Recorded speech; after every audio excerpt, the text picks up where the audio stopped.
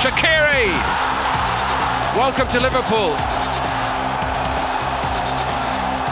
Well, we've seen him do it before. From outside the 18-yard box as well. Inside right, clever little dig by Mane. Mitchell. Make a headline, the new man.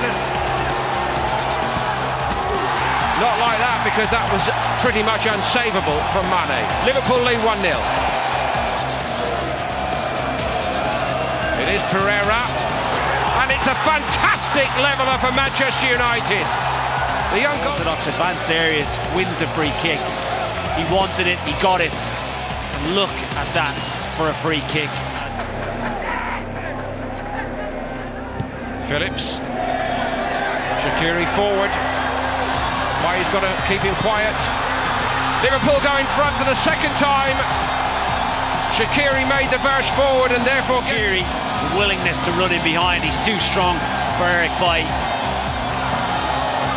seamless, wanted to get into the box to help his teammate. You can see Herrera clips him right in front of the red. Ojo.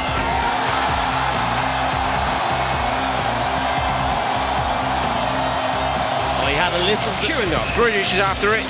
Liverpool come again and again. United are all over the place. Shaqiri. I told you.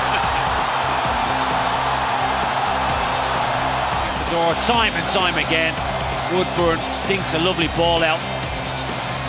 It's a good header. Spectacular overhead kick, it really was by Shaqiri. He, fini he finishes every training session with 10 of them.